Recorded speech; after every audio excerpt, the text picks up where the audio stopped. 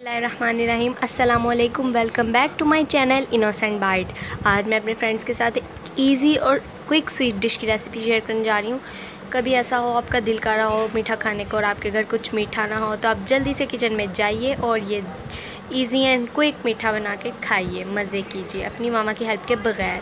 तो आइए देख लेते हैं हमें क्या क्या चीज़ें चाहिए चावल चाहिए हमें एक कप दूध चाहिए एक कप मलाई चाहिए हाफ़ कप चीनी चाहिए हमें three tablespoon milk powder चाहिए वन टेबल स्पून ये आलमंड्स हैं, मेरे पास इनको मैंने क्रश कर लिया था, ये टू टेबल स्पून है। तो हम सबसे पहले इसको, दूध को बॉईल कर लेते हैं। फ्लेम ऑन कर दिया हम इस पर दूध डालेंगे।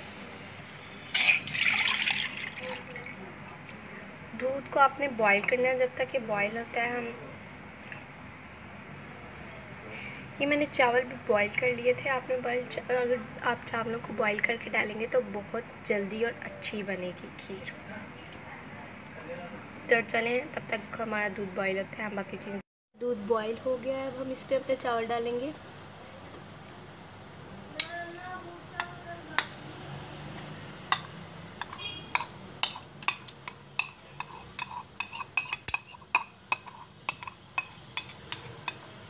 मिक्स कर देना।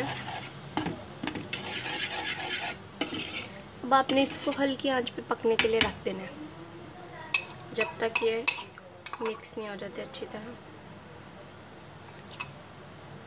ये देखिए, हमारे चावल जो है वो दूध में पक रहे हैं।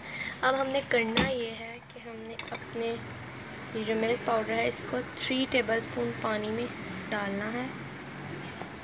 मिक्स करके हमने इसको अच्छे से मिक्स करना।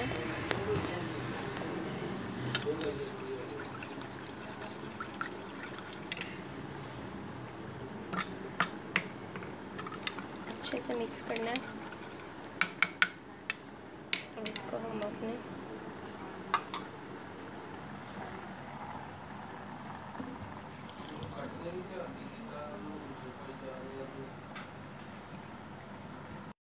देखिए, अब इसमें फुल बबल्स बनने शुरू हो गए मलाई डाल डाल देंगे। मलाई ऑप्शनल अगर आपके पास नहीं है तो ना डालें। है तो अच्छी बनेगी। वैसे मलाई के बगैर भी बन जाती है। पंद्रह से बीस मिनट तक मैंने इसको पकाया। मैं इसमें चीनी डालने लगी हूँ। करना है। ये देखिए, ये आपको लग रही है रेडी रेडी बहुत अच्छी रेडी हो रही है, ये बस पाँच दस मिनट हमने इसको और पकाना है और फिर हमारी खीर रेडी। हमने इसमें डाल देना है, थोड़ा से गार्निशिंग के लिए रख लेंगे। जी तो फ्रेंड्स, हमारी खीर रेडी है और आप देख सकते हैं, ये बहुत यमी लग रही है और खाने में तो बहुत यमी होती है। तो आपने मेरी रेसिपी ज़रूर ट्राई करनी है और अगर आपको इस ये रेसिपी अच्छी लगी तो मेरे चैनल को सब्सक्राइब करें, इस वीडियो को लाइक करें, शेयर करें, कमेंट करें। Thank you.